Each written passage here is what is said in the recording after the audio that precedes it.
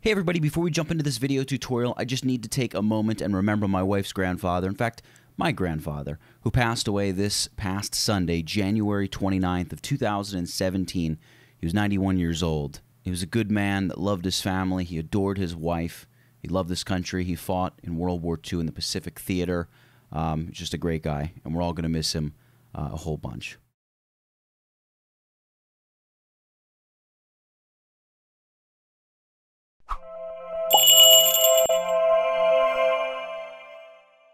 Hey everybody, welcome into this Photoshop tutorial brought to you as always by tutvid.com. Today we're going to take a look at creating this watercolor text effect in Photoshop. It's completely hand painted. We do use a font kind of as a little bit of a help and a guide, but it's a really, really cool effect. I think you're really going to enjoy it. Now, before we get going, I want to let you guys know I'm selling a course over on tutvid.com. It's all about how to retouch photos. If you use Photoshop, you're going to learn so much through that course. And by picking up the course, you help support what I'm doing here. So you pick up the course, it allows me to keep spending more time cranking out these videos as we push this thing bigger and bigger and better and better every single day. And this year is only just getting started. So let's go ahead and jump into this video tutorial and take a look at this watercolor text effect. You can see it right here.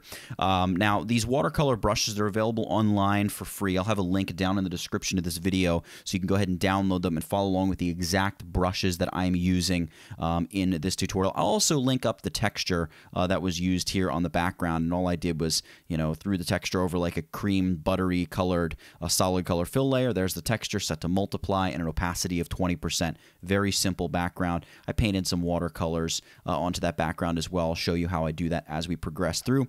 The other important thing is the color scheme. Where did I get the color scheme from? Well, let me show you. There's this website called Coolors. Um, and the cool thing about this website is when you launch the color generator, you just hit the spacebar key and it generates a new uh, color scheme for you. And let's say when you're flipping through it, you say, oh, you know what, I really like this silver color. You can lock that color and hit the spacebar again. It's going to maintain that color and keep searching for four other colors that work in unison with that color. You can lock as many colors as you want and build the perfect color scheme.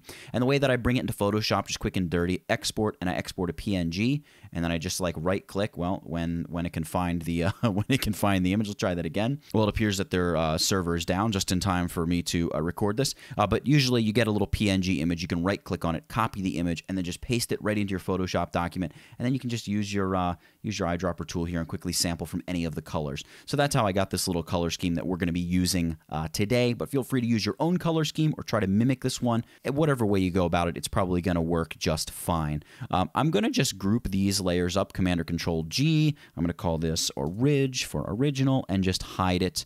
And now we're working here over the background. So the first step is to just create some text. I'm going to grab the text tool and I'm going to open up my character panel here. And what I want to do is use the uh, the typeface Latin Modern right here. This Latin Modern Roman demi bold font uh, at a size of 300 points is probably going to be about right.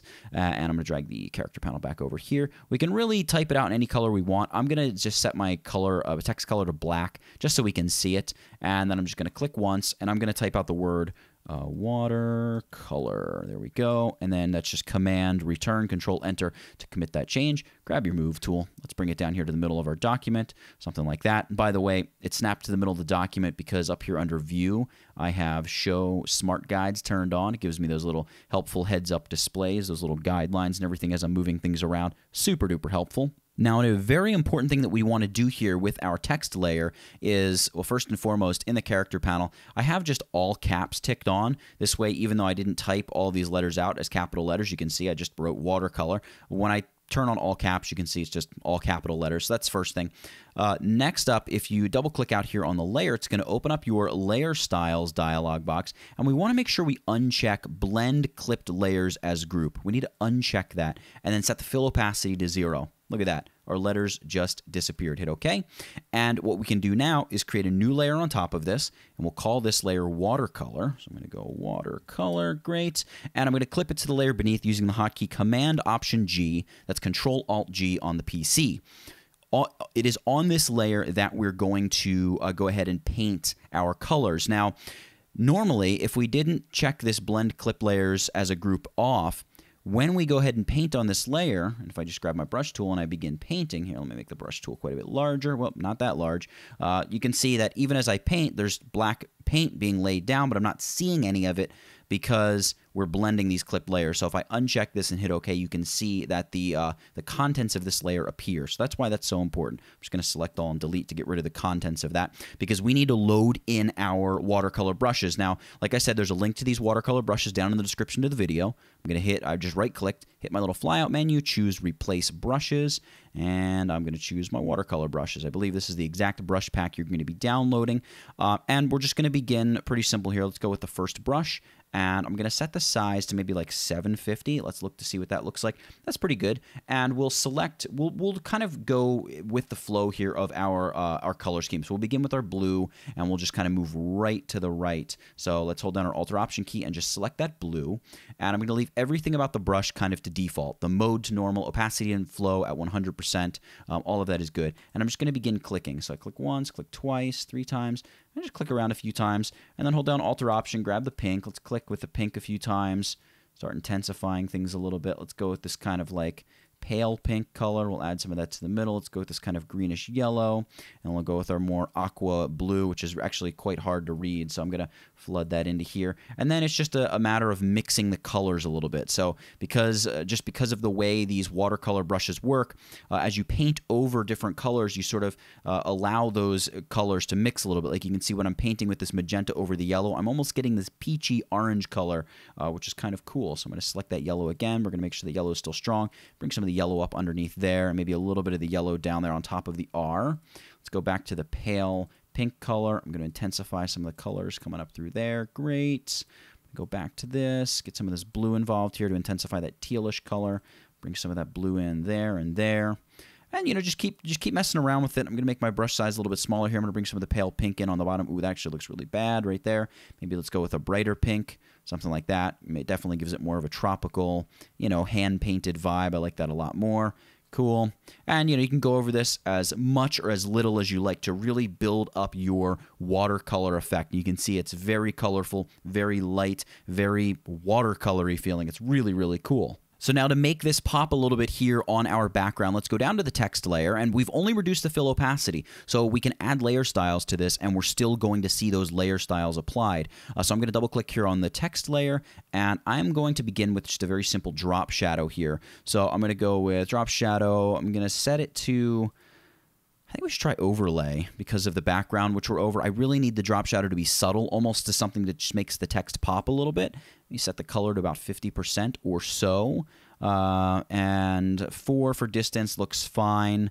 Uh, maybe make the size a little bit less. The size is essentially the blur of the drop shadow, so we're not making it smaller per se. We're making it a little, a little bit shorter but more intense. Um, so a little bit of a harder edged uh, shadow that looks good. Um, and let's also do a very subtle bevel and emboss. So I'm going to go bevel and emboss, chisel hard, great.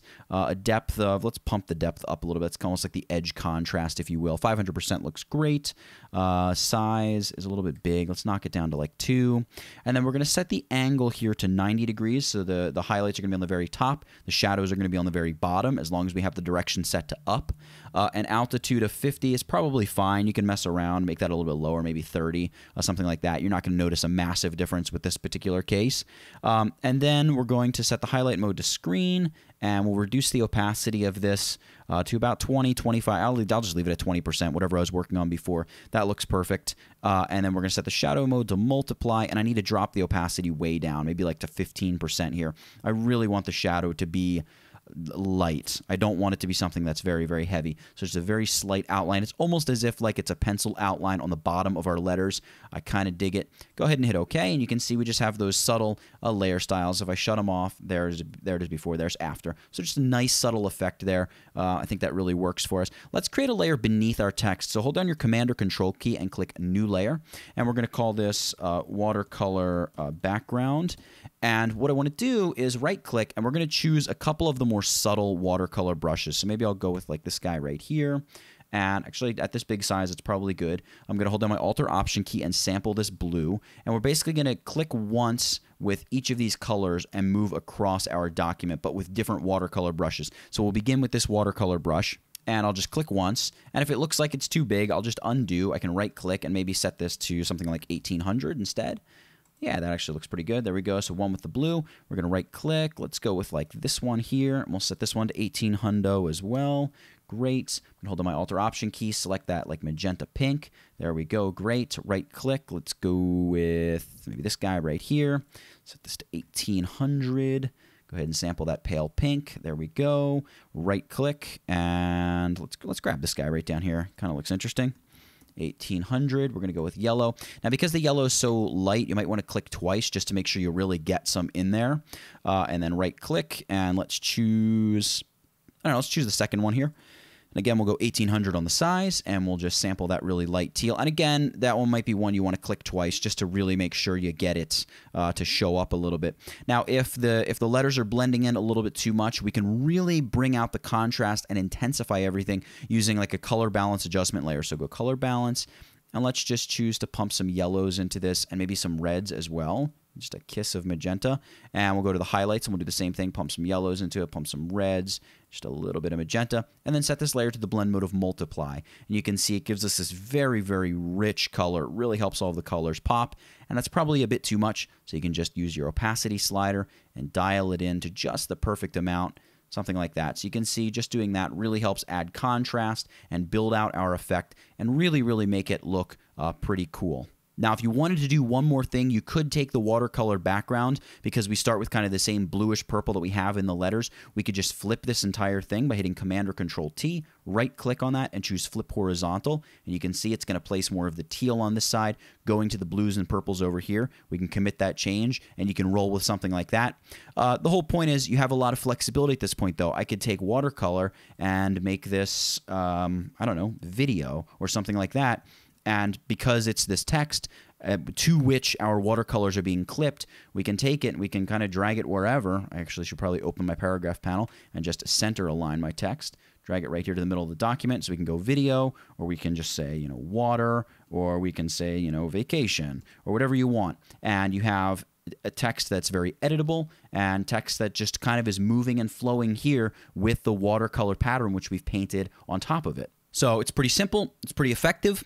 And that's how I go about creating this sort of custom watercolor text effect in Photoshop. If you enjoyed this tutorial, make sure you leave a little like on this video, slap a comment on it if you feel so inclined, hit the subscribe button as well. That way you never miss another video in the future. How awesome is that? For creating a watercolor text effect in Photoshop, custom watercolor brushes over our own texturized background. Can you believe it? That's it. Get it? Got it? Good. Nathaniel Dodson, tutvid.com. I'll catch you in the next one.